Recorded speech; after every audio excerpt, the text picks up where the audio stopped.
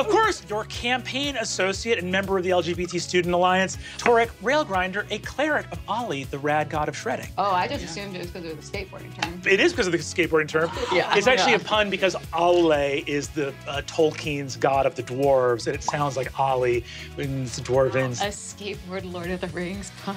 Yeah. that was for you. That was for you. Watching this at home, specifically for you.